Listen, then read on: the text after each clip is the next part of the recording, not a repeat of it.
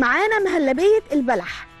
عايزين لتر لبن حليب كوباية بلح رطب أو تمر منزوع النوى نص كوباية سكر نص كوباية جوز الهند معلقتين كبار مليانين نشا ثلاث معالق صغير آه، معلقة صغيرة حبهان مطحون معلقة صغيرة قرفة وللتزيين محتاجين مكسرات.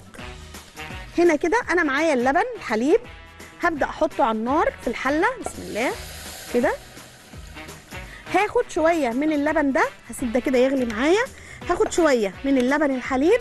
هبدأ أحطهم عندي في كده. أهو. هبدأ أحطهم في الخلاط. وهاخد البلح معايا. البلح المتفصص.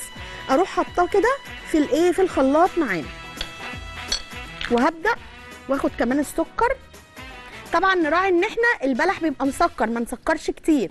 يعني مثلا لكل كوباية لبن نحط لها معلقة واحدة سكر.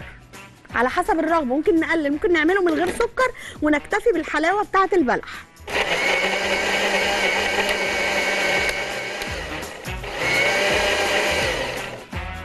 كده؟ الشكل ده؟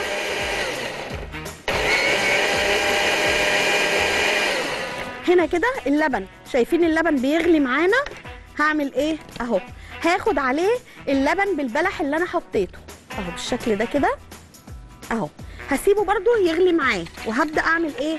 هاخد شوية مية صغيرين كده أحط فيهم النشا اللي أنا هربط بيه. طبعا لازم تكون مية باردة. ممكن مية ممكن حليب. مفيش أي مشكلة. أدي كده النشا.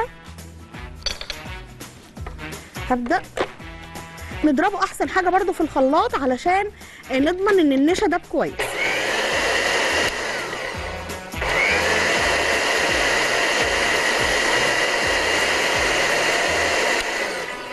بالشكل ده. هنا بقى معايا البلح باللبن كده على النار. اللبن الحليب مع البلح واللبن اللي إحنا خلطناهم مع بعض نقلبهم كويس جدا مع بعض لحد لما يبدأوا يغلوا تاني. عايزة أشوف بس هنا كده الأرانب. آه تمام. شغاله هنا عندي ادي المهلبية كده. اهو. هتبدأ أول ما هتيجي تغلي معايا هبدأ أضيف لها النشا اللي أنا عملته بالشكل ده كده. اهو.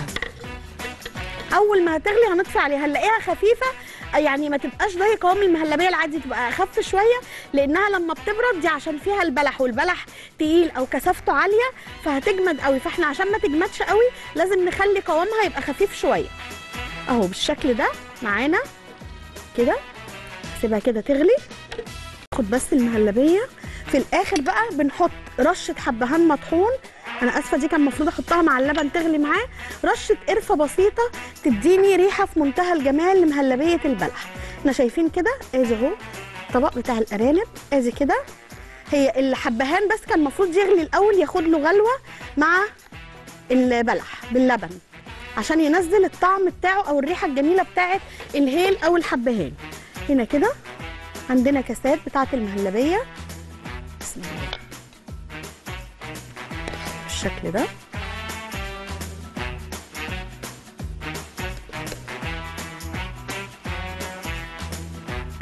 ادي كاس للمهلبية. طبعا المهلبية دي جميلة جدا جدا. آه في الشتاء للأولاد ساعة الدراسة كده نعملها لهم. تبقى حاجة مغذية جدا ومفيدة جدا جدا تغذي جسمهم بالحديد وبالمعادن كمان اللي إحنا قلنا عليها الزنك والكالسيوم والحاجات دي تبقى مفيدة جدا. وطبعا لما بتبرد بنحط عليها جوز الهند وزبيب وبندق لوز اللي موجود عندنا بالظبط. بنحطه أي مكسرات موجودة عندنا.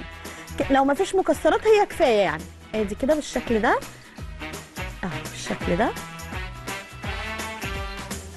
حاضر. هجيب بقى الفطيرة اللي في الفرن على طول.